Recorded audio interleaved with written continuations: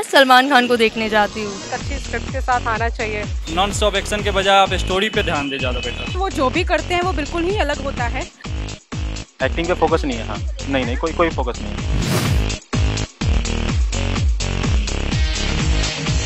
Hi hello नमस्कार friend मैं हूँ आपकी होस्ट पल्लवी और आप देख रहे हैं लोकमत न्यूज़ हिंदी का बोल डाल शो पिछली बार की तरह इस बार भी हमारे पास सवाल जो है वो काफ़ी मज़ेदार है। सवाल है सलमान खान के बारे में। No no no no no जैसा आप सोच रहे हैं कि मैं उनकी शादी के बारे में पूछूँगी तो आप बिल्कुल गलत है। इस बार का सवाल सलमान के करियर के ऊपर है। पिछले काफ़ी सालों से सलमान खान, सुल्तान के बाद उन्होंने कोई अच्छी फ़िल्म नहीं दी जिसमें लगे कि वह, उनके भाई जान ने तो कमाल करके दिखा दिया है। तो इस बार हमारा सवाल यही है कि क्या सलमान खान को बॉलीवुड में ब्रेक की ज़रूरत है? तो चलो देखते हैं लोग क्या सोचते हैं इस बारे में।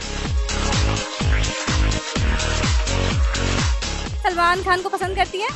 I am the huge fan of him बहुत ज़्यादा।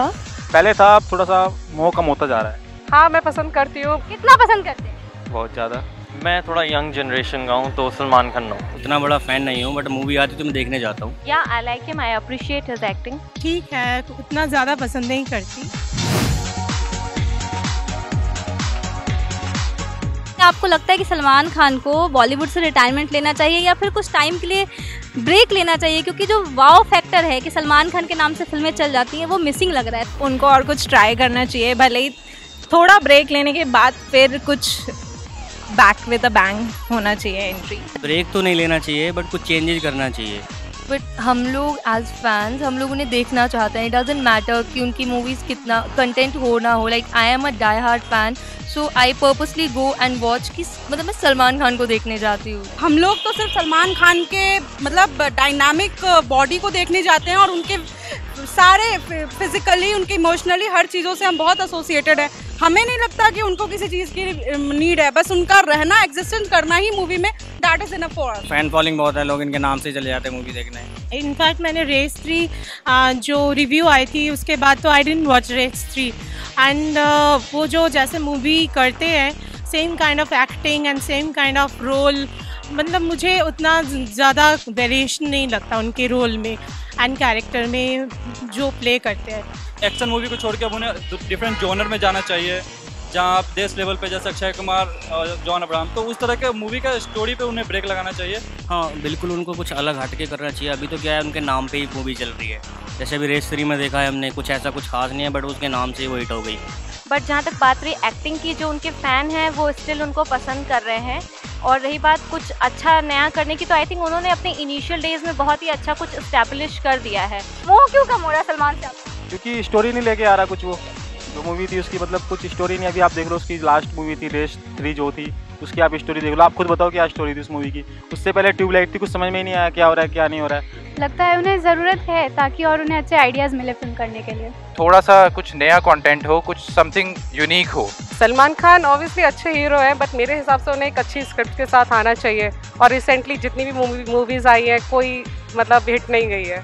ब्रेक तो नहीं लेना चाहिए उनको कोई अच्छी कोई स्टोरीज हो जिसमें कोई अच्छी मूवी लेकर आनी चाहिए उनको क्योंकि रेस थ्री भी ज़्यादा मज़ा नहीं आया उसमें। Try different kind of roles and थोड़ा सा better acting as in Sultan अगर आप देखो तो सलमान खान ने एक नई जनरेशन शुरू करी ओल्ड कैरेक्टर निभा के और जो उन पर बहुत सूट करता है। कैरेक्टर्स uh, लाइक like भाई फादर्स और प्ले मेकर जैसे गॉड फादर है वो कैरेक्टर अगर सलमान खान निभाए तो जा हीरो थोड़ा आप उनको थोड़ा साइड लाइन होना पड़ेगा जेनरे में थोड़ा चेंज लाना पड़ेगा। कई लोगों के मुझे रिव्यू मिले हैं कि वो रेस थ्री को उन्होंने इंटरवल के पहले ही छोड़कर वो बाहर आ गए। इस बारे में आपका क्या कहना है? हाँ मतलब इंटरवल से पहले कोई स्टोरी नहीं थी उसमें। मुझे वो मूवी अच्छी लगी और मैं हाफ़ से ही बाहर आ गई थी। नहीं नहीं वो तो बस इंटरवल से पहले ही मन कर रहा था बाहर चले जाए इतनी मज़ा नहीं आया उसमें बिल्कुल। आप स्टार्टअप मैच कर रहे हैं रणबीर का और सलमान का। I am not saying Ranbir Kapoor मैंने नाम ही नहीं लिया। टॉपिक उसी चीज़ पे से उठ रहा है। आजकल क्योंकि संजू हिट जा रही है उसकी फ़िल्म फ्लॉप हो गई है। मैं सलमान के फ़ैन से बिल्कुल पंगा नहीं लेने वाली। ये मेरे ऊपर ही मतलब ये सलमान का क्रेजी फ़ैन लग रहा है। ये कुछ नहीं सुन सकता उसके बारे में। I am the huge fan of him मैं मतलब उनकी जो भी मूवीज़ होती है ना टू और थ्री टाइम्स देखती हूँ। अब आप उसके एक फ़िल्म से आप कैसे जज कर सकते हो कि, कि मतलब हाँ रेस्ट्री में उन्होंने सही काम नहीं किया अब रेस्ट्री के लिए आप बोल रहे हो कि हाँ पब्लिक का ओपिनियन था कि रेस्ट्री में उतना अच्छा, अच्छा काम नहीं किया उसे फ़िल्म इंडस्ट्री अब छोड़ देना चाहिए फ़िल्म नहीं करना चाहिए। वी एंजॉय इतना उनकी अपनी हरकतें होती है ना mix match in the movie so हम उसको देख के तो एंजॉय कर ही लेते हैं फिर कंटेंट पे उतना ध्यान नहीं जाता however the movie is तो देखा आपने सलमान के फ़ैन भी यही चाहते हैं कि सलमान खान एक दमदार स्क्रिप्ट के साथ और एक मतलब ज़बरदस्त स्टोरी के साथ आए। भाईजान का नाम ही अब फ़िल्म चलाने के लिए काफ़ी नहीं है, ये लोगों ने साफ़ कर दिया है। तो बोल डाल के नेक्स्ट एपिसोड में मैं आपसे फिर मिलूँगी। ऐसे ही मज़ेदार सवाल के इंटरेस्टिंग जवाब के साथ। तब तक के लिए बने रहें लोकमत न्यूज़ के साथ, खुश रहें, मुस्कुराते रहें।